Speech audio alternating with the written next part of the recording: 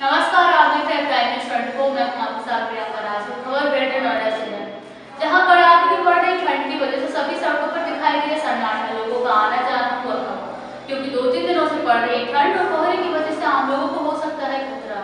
इससे सड़कों पर वाहनों की संख्या कम होती नज़र आई। इक्का दुक्का की संख्या में ये वाहन नज़र आए। लोगों का कहना कि दो तीन दिनों से कड़ाके की ठंड की वजह से लोग अपने अपने घरों से कम आना जाना पसंद कर रहे हैं क्योंकि कोहरे बढ़ने से आसपास की चीज़ें साफ़ नहीं दिखाई दे रही ऐसे में लोगों को अलर्ट रहना चाहिए क्योंकि कोहरे से आम जनता के लिए हो सकता है खतरा। आइए देखते हैं ग्रेटर नोएडा से प्राइम न्यूज़ ट्वेंटी फोर के लिए समीर खान की रिपोर्ट नमस्कार, फिर एक बार आपके साथ मैं हूँ समीर खान। गिरान रिपोर्ट से सीधा आपको दिखाते ठंड कड़ाके की पड़ रही है। लगातार ठंड ने अपना दवस कर रखा है। लगातार दो दिनों से जो कोहरा पड़ रहा है, कोहरा ने लोगों पर अपना प्रभाव डाल दिया है। अब बसा ये है कि दो दिनों से लगातार जो कोहरा पड़ रहा है, लोगों को आने जाने में काफ़ी दिक्कतें झेलनी पड़े इस वक्त मैं मेन रोड पर हूँ। ये जो मेन रोड है, आपको ऐसा दिखाई दे रहा है कि इस पर कोई भी वाहन ज़्यादा संख्या में नज़र नहीं आ रहे। हालात की इक्का दुक्का में ही जो यहाँ के वाहन है, वो यहाँ से गुजर है। क्योंकि कारण ये बन चुका है, क्योंकि लगातार जो कोहरा पड़ रहा है, उसकी वजह से लोगों का आना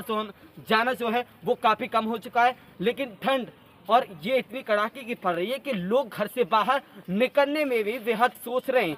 और सरकार ने भी लोगों को अलर्ट जारी कर दिया है कि ऐसी ठंड में और ऐसे कोहरे में घर से कम लिया करें। यहाँ के जो लोग हैं उनसे बात करेंगे क्योंकि लगातार कई दिनों से कोहरा यहाँ पर दो तीन दिनों से पड़ रहा है। मेरे साथ है सर क्या नाम आपका? जी मेरा नाम अजीत कुमार। हाँ पास आओ। हम्म, जी मेरा नाम अजीत कुमार। मैं अहमदपुर चौरोली का रहने वाला हूँ। हम्म। अच्छा ये बताइए जो कोहरा पड़ रहा है कितने दिनों से पड़ रहा है? कितने दिनों से आप देख रहे हो इधर? सर अभी ये दो तीन दिन से ज़्यादा है ये। हाँ। दो, दो तीन दिन से ज़्यादा कोहरा पड़ रहा है जिसके कारण अपना बाहर निकलना जाना भी बंद हुआ है इस समय। क्या इससे पहले आपने कभी इतना सारा कोहरा इतनी ठंड देखी है? जी नहीं इतना हमने कभी नहीं देखा था जितना अब अब देखना पड़ रहा है ये।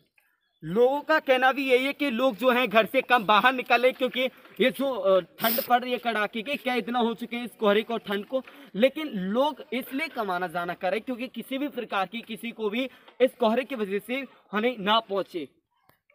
यहाँ पर कुछ लोग बैठे हुए जानेंगे कि आखिर जो ठंड लगातार जो पड़ रही दो तीन दिनों से आखिर किस तरह से जो गाँव के जो घर वाले लोग हैं वो किस तरह से इस ठंड से अपना छुटकारा कर रहे हैं?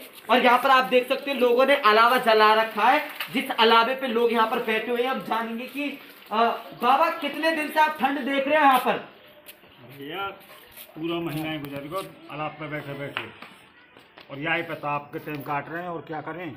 अच्छा दो तीन दिन से ज़्यादा ठंड पड़ रही है कोहरा ज़्यादा पड़ रहा है कैसे कर रहे हो? कोहरा में तीन चार दिन तो बिल्कुल ही मान लिया हाथ पाँव करे जाए ना चौपे धोरन को कुछ ना आदमी को कुछ। मान लिया ठंड के मारे बस अलाप पे ही बैठे रहे। अच्छा आप लोग भी आप तो महिला हो आप लोग कैसे कर पाती इतनी ठंड में काम?